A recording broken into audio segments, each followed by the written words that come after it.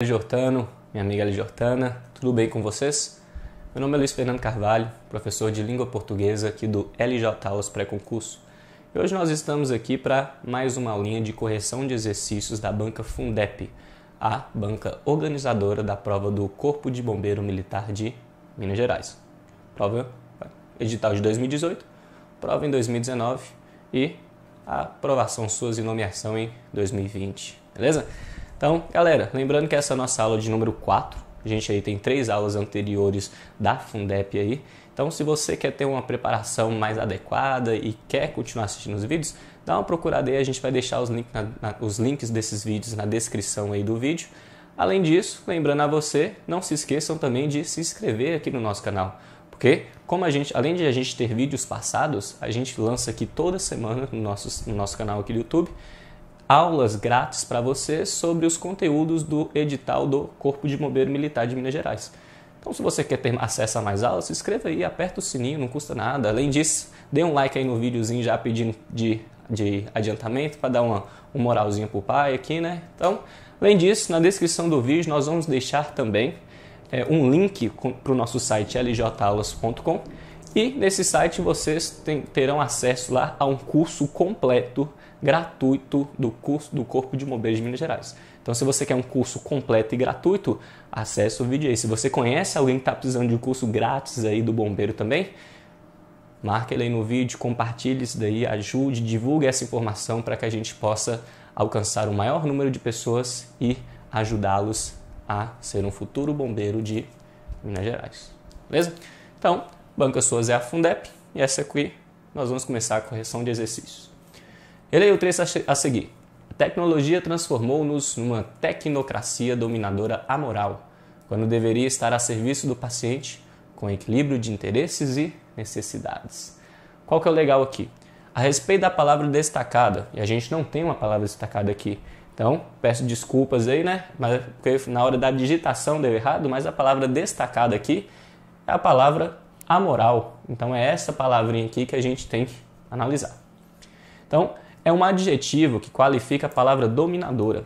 Então, quando eu falo assim, ó, a tecnologia transformou-se numa tecnocracia dominadora amoral. Então, transformou numa tecno, tecnocracia dominadora amoral. Beleza? Qual que é o segredo aqui? Ó?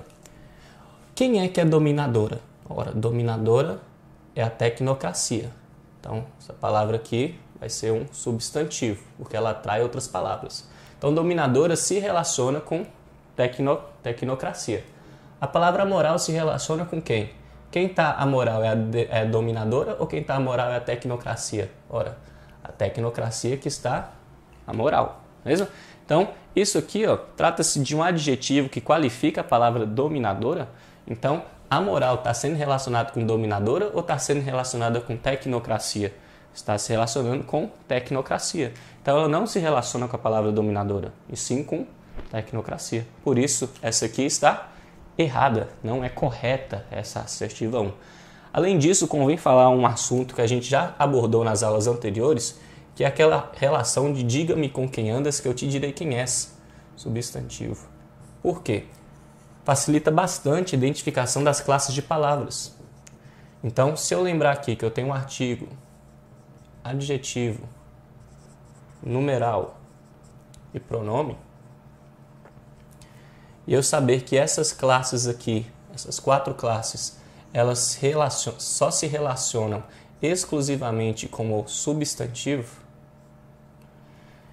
fica fácil de eu identificar determinadas classes morfológicas da palavra. Por quê? O substantivo é como se ele fosse um imã, ele vai atrair palavras.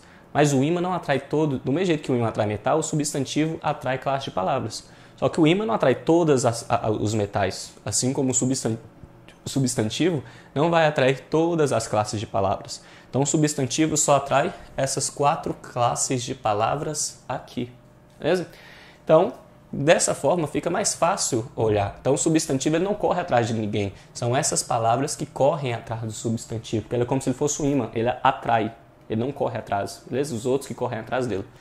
Então nessa aqui, ó, eu tenho a palavra tecnocracia. Tecnocracia dessas palavras é a única que não corre atrás de ninguém. Ela está atraindo palavras. É de... De... De... Opa! dominadora que vai atrás de tecnocracia. É a palavra amoral que vai atrás de tecnocracia. Então significa que ela está paradinha e algumas palavras vão até ela. Por isso, tecnocracia é um substantivo, porque ela fica paradinha. E a dominadora aqui ó, se relaciona ao substantivo, então tem que ser uma dessas quatro. Aí a gente pode fazer por eliminação. Dominadora tem como ser artigo? Ou a, os as, um, uns? Não. Tem como ser numeral? Um, dois, três, quatro? Não. Tem como ser adjetivo, qualidade, característica ou estado da tecnocracia? Sim. Por isso, dominadora é um adjetivo. A moral se relaciona também com tecnocracia, então ela vai ser alguma dessas quatro classes também. Tem como ser artigo ou a osas? Não. Numeral? 1, 2, 3, 4? Também não. Adjetivo, qualidade, característica ou estado da tecnocracia? Sim. Então aqui vai ser também um adjetivo. Sabendo isso, dava para eliminar aqui muito fácil. Por quê? Está falando que, tecno, que a moral é um adjetivo que qualifica a palavra dominadora. Qual que é o problema? O adjetivo, galera, não se relaciona com outro adjetivo. Então, dominador é adjetivo, a moral também é adjetivo. Dois adjetivos não se relacionam. O adjetivo só se relaciona com quem? Com o substantivo. Então não teria como relacionar com dominadora, teria que relacionar com tecnocracia. Beleza? Isso aqui está errado. Possui o mesmo significado que imoral em qualquer contexto. Galera, dá uma dica para vocês. Toda vez que aparecer isso aqui, ó, uma dica de interpretação de texto. Toda vez que aparecer possui o mesmo blá blá blá blá blá, em qualquer contexto. Galera, pode assim praticamente fechar os olhos e falar que está errado. Por quê? É muito difícil que alguma coisa aconteça exatamente igual em contextos diferentes. Pode acontecer em um e em outro, mas em qualquer contexto são todas as possibilidades possíveis. E dentre todas as possibilidades possíveis para acontecer exatamente igual, a mesma coisinha em todas essas possibilidades, é muito difícil, galera, é extremamente raro. Então, toda vez que vocês virem em qualquer contexto, pode já pressupor de que é muito mais fácil de essa alternativa aqui estar errada. Beleza? A questão 3 é formada por derivação sufixal. Então, a palavra amoral.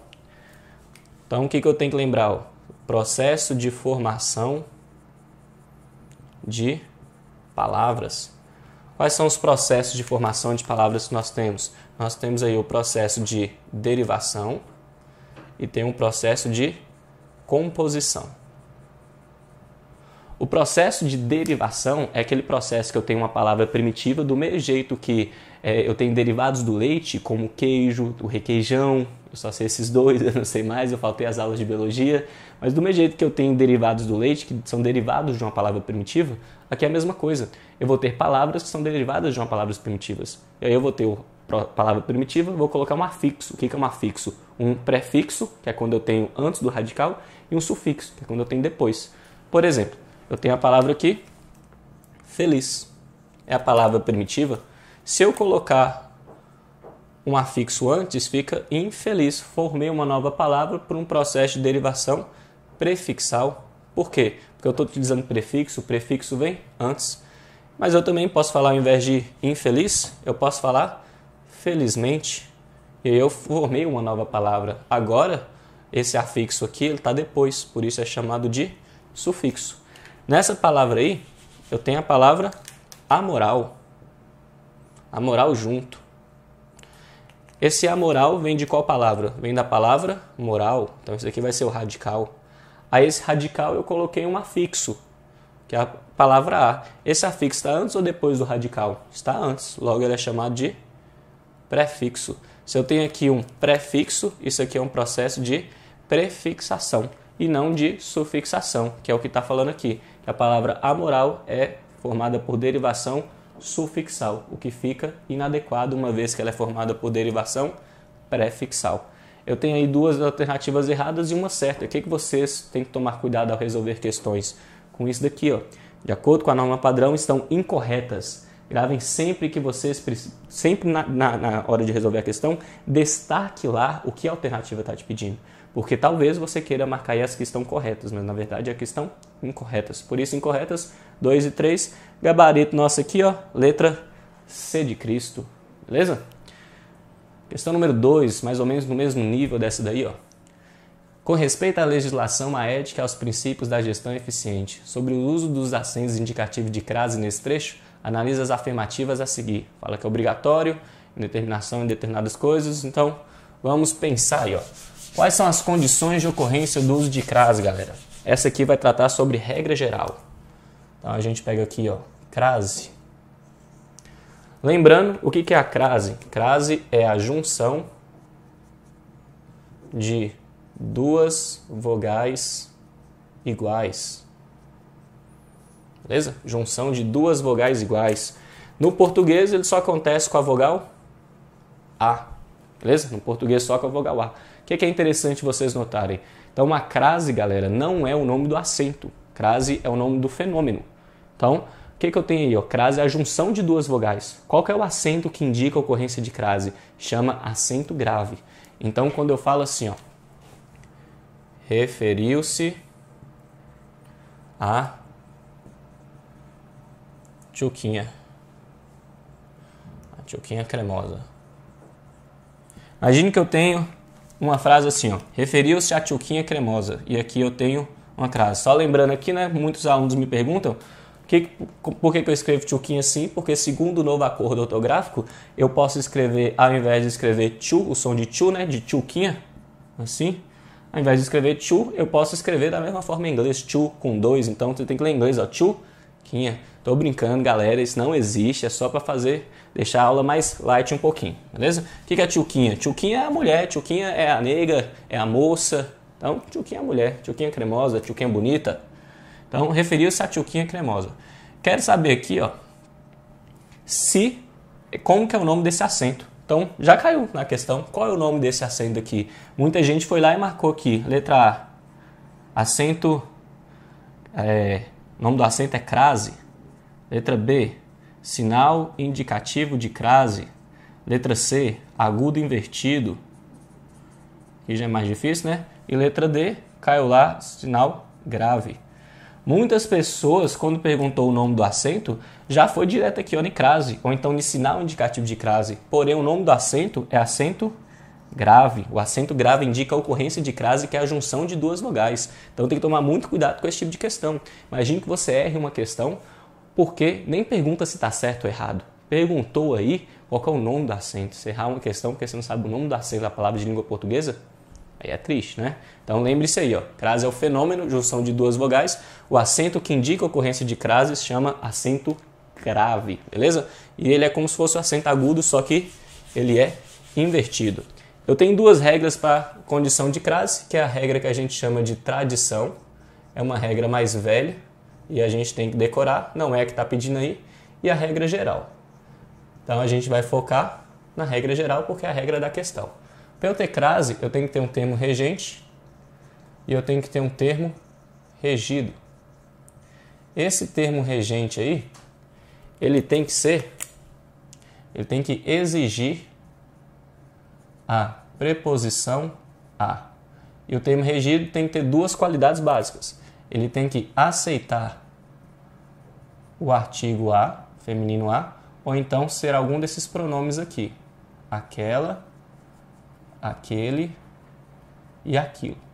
Se essas duas condições ocorrerem atreladas a essa outra condição, eu vou ter crase obrigatoriamente. Esses são os usos obrigatórios de crase. Então, se eu falo, por exemplo, aqui, ó, igual eu tinha aqui, referiu-se a tchuquinha cremosa. Se eu tenho aqui, ó, referiu-se a tchuquinha cremosa, quero saber se tem crase nesse daqui. Quem se refere, se refere a algo ou se refere a alguém. Não é isso? E aqui eu tenho tchuquinha cremosa. Vou pegar o termo regente. Qual é o termo regente? É o termo que vem antes do a. Aí eu faço aquelas perguntinhas igual eu já fiz aqui. Ó. Quem se refere, se refere a algo. Esse termo aqui, que é o termo regente, ele vai exigir a preposição. Como que eu sei que ele exige a preposição? Quem se refere, se refere a algo. Tá vendo que aparece uma palavrinha aqui entre o verbo referir e o algo quando eu faço a pergunta? Essa palavrinha justamente é o que a gente chama de preposição a. Então, se o termo regente está exigindo a preposição a, eu tenho uma das condições de ocorrência de crase. Por isso aqui, ó, a gente vai falar aqui, colocar um azinho aqui. Aí eu tenho que saber se tchuquinha cremosa, que é o termo regido, o termo que vem depois, é alguma dessas duas coisas aqui. Tchuquinha cremosa não é aquela, aquele, aquilo. Senão estaria escrito aquela, aquele, aquilo. Aí eu tenho que ver se tchuquinha cremosa aceita o artigo A. Como que eu vou falar isso? Eu tenho assim, ó, coloca numa frase, a tchuquinha cremosa é, mexe comigo. É, dá, dá para falar a tchuquinha cremosa? Esse A é aceitável? Sim. Então, esse termo aqui ó, vai aceitar o artigo A. Vou ter a junção dessa preposição A do verbo referir com a junção desse artigo A aqui da tchuquinha cremosa, dois As, As mais As, vou ter aqui o acento grave, que indica a ocorrência de crase. Basicamente é isso aí que vocês têm que saber. Então aqui ó, eu tenho com respeito à legislação. Com respeito à legislação. Então, para saber se aqui tem crase ou não, basta analisar. Galera, quem tem respeito, tem respeito a alguma coisa. Aí aqui mexe um pouquinho com regência nominal, mas respeito é um substantivo abstrato. Beleza? E muitas vezes o substantivo abstrato, quando ele é utilizado na frase, ele exige a preposição a, muitas vezes. Então, se eu tenho respeito, eu tenho respeito a alguma coisa. Eu vou exigir aqui a preposição no termo regente, e aí eu tenho que olhar esse termo regido, que é o termo que vem depois ele é aquele, aquela, aquilo? Não. É algum artigo, é, vai aceitar a, o artigo A? É só falar. A legislação é muito complexa. Então, é, é dá para utilizar a legislação? Sim. Vai ter esse A também. Então, aqui eu vou ter o acento grave que indica a ocorrência de crase. Por isso, ó, tem como eu falar que o uso aqui é obrigatório? Sim, galera, tem como eu falar que esse uso aí é obrigatório. Eu tenho que utilizar crase. Por quê? Porque termo respeito exige a preposição a e o termo regido aceita o artigo feminino a. Vou ter a junção desses dois as e como no português eu não posso escrever a, a, dois as assim junto, eu coloco o acento grave. Então é obrigatório, isso aí está certinho. Ocorre em virtude da determinação dos substantivos femininos, legislação e ética. Galera, isso aqui é verdade. O que é a determinação? A determinação é quando eu uso aí, ó, determinantes o que, que são determinantes? Determinantes são os artigos, os adjetivos, os numerais e os pronomes. Se eu falo, por exemplo, assim, ó, tchuquinha, é um substantivo. Esse substantivo aqui ele não está determinado. Por que, que ele não está determinado? Ele não tem atrelado a eles um artigo, um adjetivo, um numeral e um pronome. Então ele não está determinado. Agora, se eu falo assim, ó, a tchuquinha, Agora eu tenho esse A e esse A vai ser um artigo. O artigo é um determinante, não é uma tchuquinha qualquer agora, agora é a tchuquinha, é uma tchuquinha específica. Por isso, eu tenho aqui a palavra tchuquinha determinada. Qual que é o legal? Para eu usar a crase, eu não tenho aqui que o termo regido tem que aceitar o artigo feminino a. Então, se o termo regido aceita o artigo feminino a e o artigo feminino a é um determinante, significa que esses dois termos aqui, ó, legislação e ética, são termos determinados. Porque se eles não fossem determinados, não teria como eu colocar esses determinantes. Como eu uso determinante, o termo é determinado. E por isso, a alternativa 2 está correta. Luiz, então eu posso falar que toda vez que eu tiver um artigo, adjetivo, numeral e pronome acompanhando um substantivo, eu posso falar que esse substantivo ele está determinado? Sim, exatamente, é isso aí que a questão está te cobrando. Questão 3. São regidos pelo substantivo masculino respeito. Isso é verdade? Sim, é o termo regente, não é? Então, quem tem respeito, tem respeito a algo. São regidos justamente por esse daqui. O que é o termo regido? O termo regido é o que vem, termo regente é o que vem depois, antes. Termo regente é o que manda, é o que exige a preposição. Termo regido é o que vem depois. Beleza? Tome muito cuidado, porque esse tipo de questão está sendo muito comum na prova da Fundep muito comum mesmo. Repare o seguinte: questão anterior, da mesma forma, estruturada. Questão 2, estruturada também da mesma forma. Vocês vão ver que a questão 3 também será estruturada da mesma forma. Então é uma questão que está, é um modelo de questão que está sendo muito recorrente na Fundep. Por isso que eu trouxe para vocês para a gente conseguir nos prepararmos melhor para a prova. Então, o que, que a gente achou? A gente achou aqui que todas estão corretas, por isso a alternativa é 1, 2 e 3, gabarito letra D de Deus. Firmeza? Questão número 3, aí, mais ou menos igual, né? Conforme eu havia mencionado. E o que, que a gente vai ter aí agora? Releia o trecho a seguir. Os pesquisadores acreditam, contudo, que vermes intestinais que atenuam as, as reações do sistema imunológico podem ser mais comuns nos organismos dos integrantes do povo indígena, ajudando assim a proteger seus corações. Olha que legal, que bonito.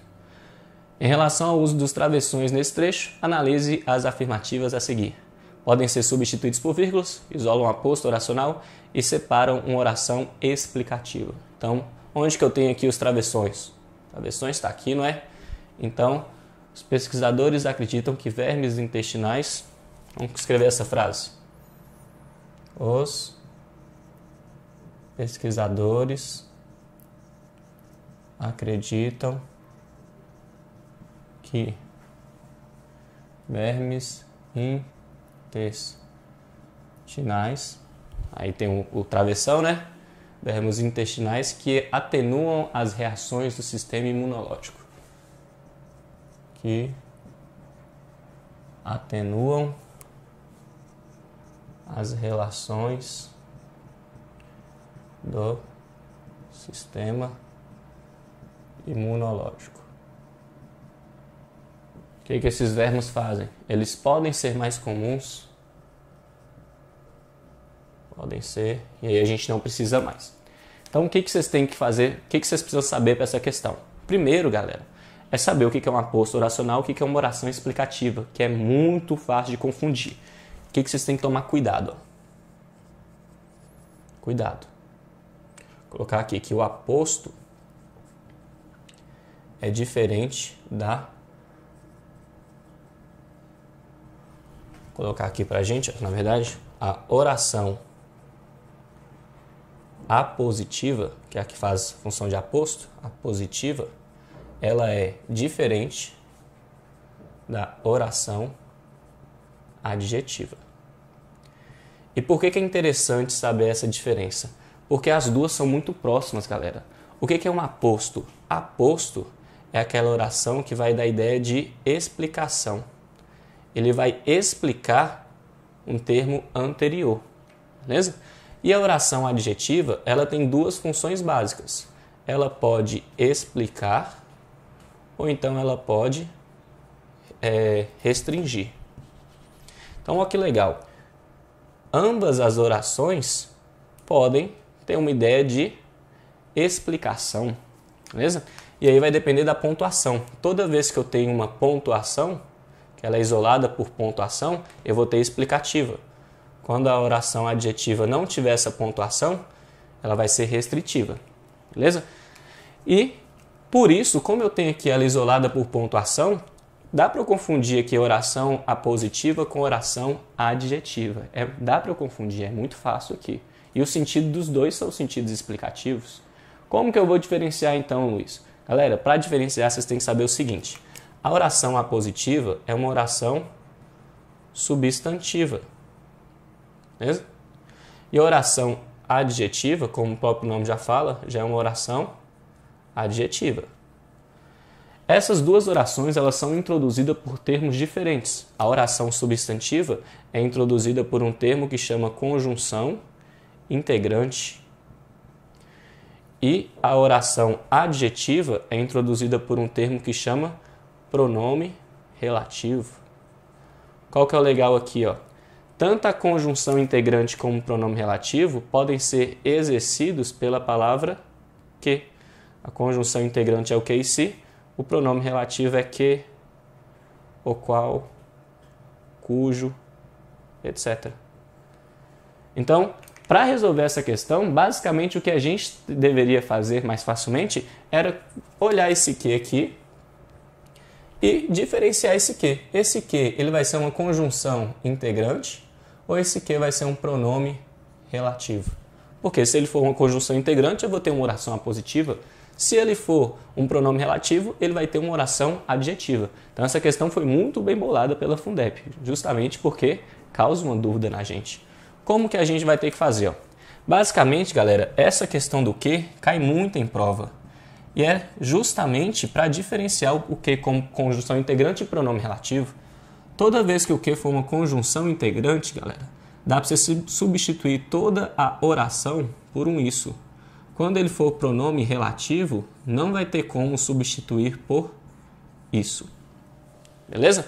Como assim? Imagine que eu tenho a seguinte frase.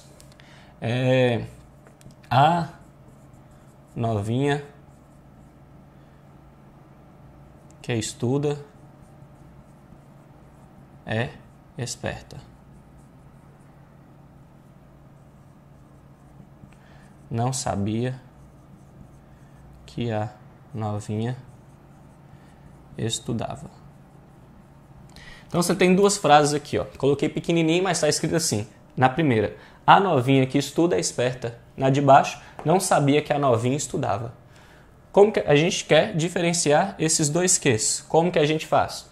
Na primeira aqui, tenta trocar toda oração que está o que por um isso. A novinha isso. Não tem sentido essa frase, a novinha isso. Não faz sentido. Então não é possível trocar aqui por um isso. Quando não é possível trocar toda oração do que por um isso, significa que esse que ele vai ser um pronome relativo. Se ele é um pronome relativo, essa oração aqui tem que ser uma oração adjetiva. Então, oração adjetiva, beleza? Adjetiva, que beleza. A oração adjetiva ela pode ser explicativa ou restritiva. Aqui eu tenho pontuação, galera. Não, não tem pontuação, então vai ser uma restritiva. Se eu colocasse aqui os travessões, igual está nessa questão, ela seria que agora uma oração adjetiva explicativa. É assim que eu faço a diferença. Nessa de baixo aqui, ó, não sabia que a novinha estudava. Tenta assim, ó, não sabia isso. Tem sentido? Quem não sabe, não sabe algo. Não sabia o que? Isso. É, é possível trocar essa oração por um isso? Sim. Se é possível trocar, isso aqui é uma conjunção integrante e toda essa frase daqui vai ser o que a gente chama de oração substantiva. Beleza? É assim que eu, eu faço, geralmente. Então, Nessa frase daqui, ó, os pesquisadores acreditam que vermes intestinais que atenuam as relações. Quer saber se esse aqui é uma conjunção integrante ou um pronome relativo? Então, vermes intestinais troca por um isso. Vermes intestinais isso. Podem ser. Tem sentido isso daí? Não, galera, não tem sentido. Se não tem sentido, isso aqui não é uma conjunção integrante, isso aqui é um pronome relativo. Se isso aqui é um pronome relativo, eu vou ter uma oração adjetiva. Como eu tenho aqui as, as pontuações, né? O travessão e o travessão, esse oração adjetiva eu chamo de explicativa. Oração subordinada adjetiva explicativa. Por isso, a resposta é o que, essa resposta aqui, ó, eles isolam aposto oracional. Falso, por que falso? Para ser aposto, eu tenho que ter aqui ó, uma oração substantiva e essa oração é uma oração adjetiva. Tá errado? Separa uma oração explicativa. Isso é verdade? Sim, isso é verdade, porque eu tenho um pronome relativo. Pronome relativo introduz orações subordinadas adjetivas. E aí, como eu tenho a pontuação, vai ser oração subordinada adjetiva explicativa. Então, isso aqui está correto, essa aqui está errada. Tenho que analisar agora se esses travessões podem ser substituídos por vírgulas. E qual que é o legal, galera? Do mesmo jeito aqui, ó, a novinha que estuda é esperta. Tá vendo que aqui eu coloquei o travessão? O travessão, galera, ele praticamente em todos os casos, ele vai poder ser substituído por vírgulas. Então eu posso falar novinha que estuda é esperta. Eu posso ser substituir, além de vírgulas, por parênteses também.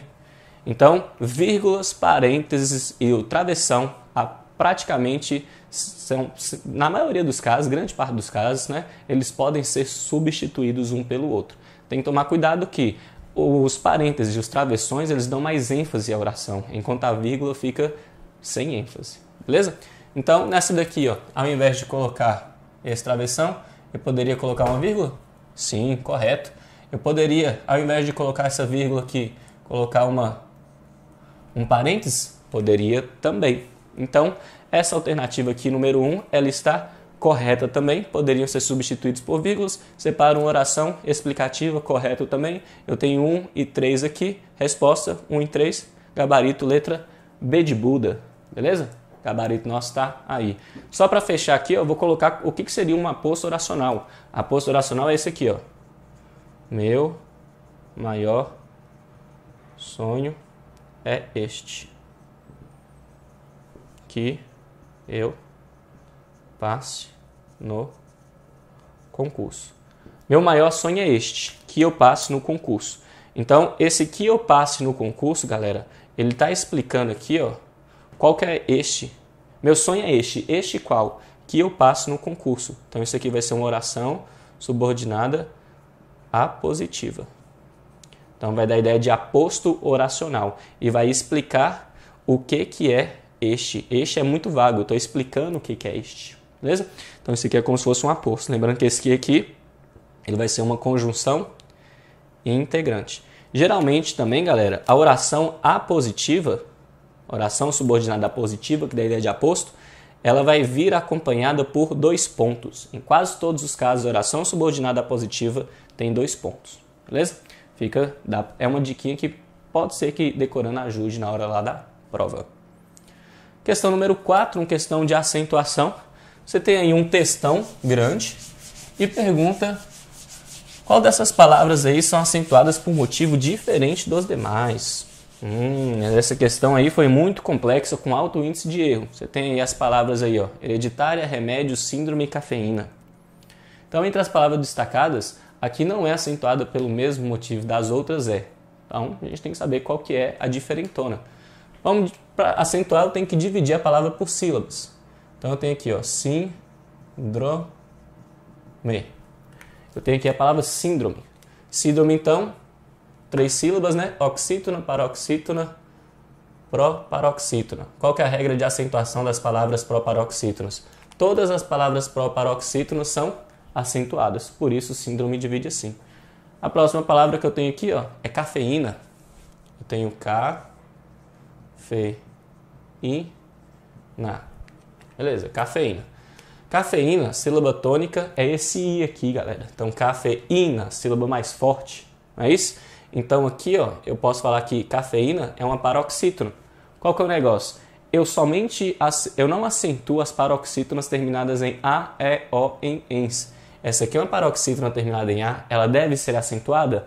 Aí que tá. Apesar de cafeína ser uma paroxítona terminada com A, ela vai receber acento, Porém, a justificativa do acento de cafeína não é pelo fato de ela ser um paroxítona terminada em A, e sim pelo fato de outra regra de acentuação, que é a regra do hiato. Eu tenho aqui ó, o encontro da vogal E com a vogal I em sílabas separadas, o que caracteriza a ocorrência de hiato. Esse hiato aqui que está acontecendo é o segundo, a segunda vogal do hiato é a vogal I ou U. Ele é tônica, mais forte. Ela está sozinha na sílaba, ou então pode estar também com a letra S, aqui está sozinha, e não é seguido de NH. Se eu tenho essas três coisas ocorrendo ao mesmo tempo, eu posso falar que a regra de acentuação dessa palavra é hiato. E esse hiato deve ter acento porque I ou U na sílaba tônica, sozinho com S, não seguido de NH. Beleza? Cafeína, então, regra de hiato. E eu tenho aqui os dois problemas que vai dar, que muita gente divide errado. Eu tenho a palavra hereditária e remédios. Então eu tenho que saber como divide hereditária e remédios. Galera, toda vez que a palavra acabar em dois sons vocálicos, ou seja, dois sons de vogal I e A e aqui I e O, eu vou ter dúvida em relação à separação. Então eu separo hereditária por hereditária ou hereditária. Qual que é a divisão correta? Eu separo remédios por remédios, ou separo o remédio por remédios, junto. Qual é a divisão correta dessas palavras? Muita gente erra isso daqui. E se você errar isso daqui e não souber o detalhezinho que eu vou explicar, essa questão se torna extremamente difícil.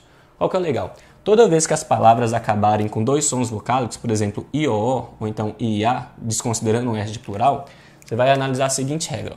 Você, e aqui eu vou explicar basicamente bem reduzido, nas outras aulas eu já expliquei isso aqui bem completo, vou explicar somente quando essa, esse encontro vocálico aqui terminar em A. Então, se o encontro vocálico terminar na palavra A, E ou O, então eu tenho aqui a regra das palavras que terminam em duas vogais. Essa é a regra de divisão silábica. Palavras que terminam em duas vogais. Beleza. Se a última dessas duas vogais for a letra A, E ou O, igual é aqui, o S de plural a gente desconsidera, eu vou olhar o seguinte. Eu tenho que olhar a sílaba anterior. Qual que é a sílaba anterior?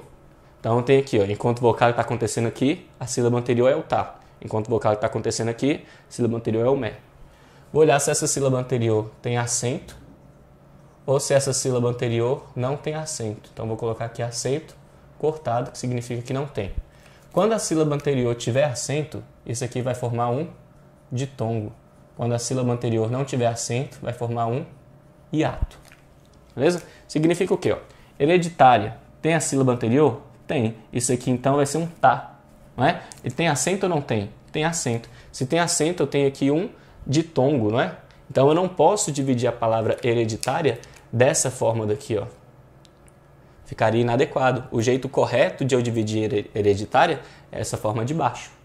Remédios, a sílaba anterior é o mé, ele é acentuado. Então o jeito mais correto de eu dividir remédios é deixando um ditongo, dessa forma daqui, ó. Porque eu tenho ditongo e aqui eu tenho ditongo.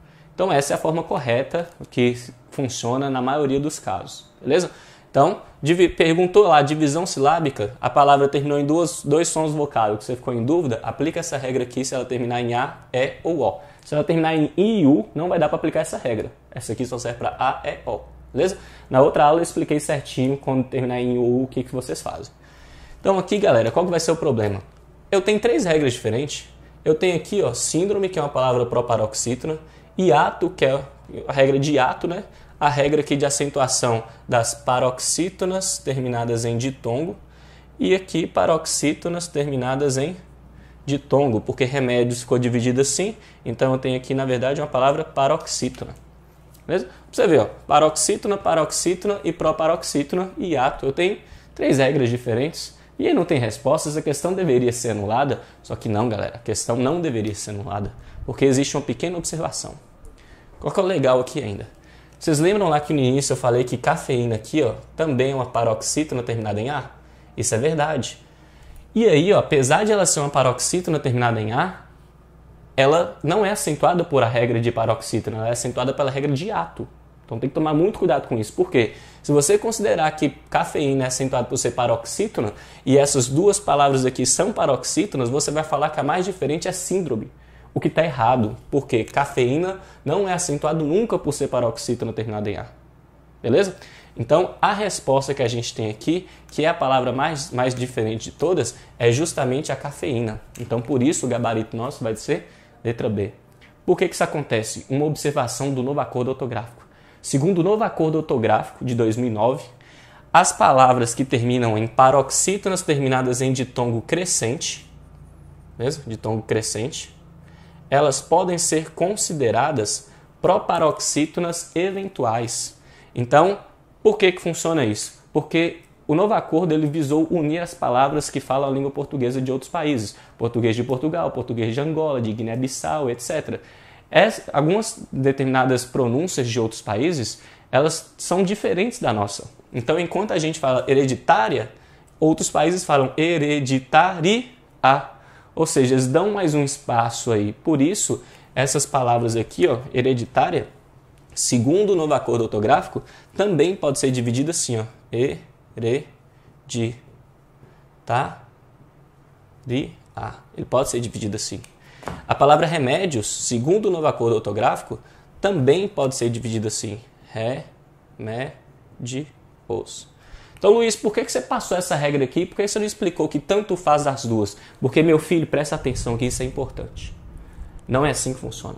Não é porque o novo acordo ortográfico permite essas duas divisões que as duas vão ser corretas e que você, brasileiro nato, vai poder utilizá-las em qualquer momento que você quiser. Não é assim que funciona. Não é. Como que funciona?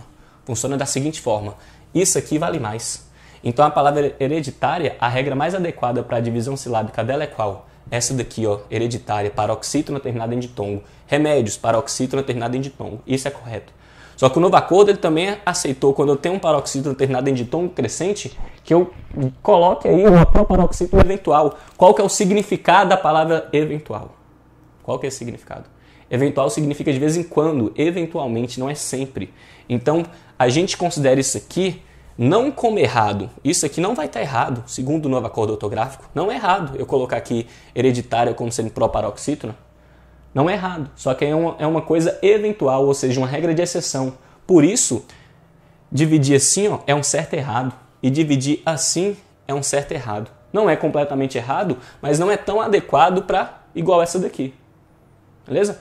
Então, nesse tipo de questão aqui, ó, você tem síndrome, que é proparoxítono, Ia, é, é, cafeína, que é hiato, e hereditária, que é paroxítono terminado em ditongo, e remédio, que é uma paroxítono terminado em ditongo, eu tenho uma nova possibilidade. Se eu dividir assim, eu tenho aqui uma proparoxítona eventual, e todas as proparoxítonas são acentuadas.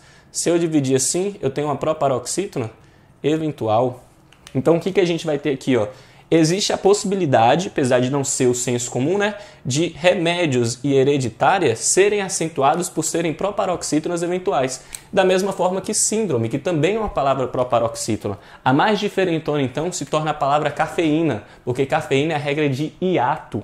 Beleza? Enquanto essas outras duas aqui, apesar de ser uma exceção do novacor ortográfico, estão sendo consideradas nessa questão como sendo uma proparoxítona eventual. Beleza? Então essa questão de acentuação é um conteúdo que muita gente acha muito fácil e que não tem dúvida nenhuma, porém quando cai uma questão bem objetiva de jeito e muito complexa, com alguns detalhezinhos, a galera roda. Essa questão teve alto índice de erro.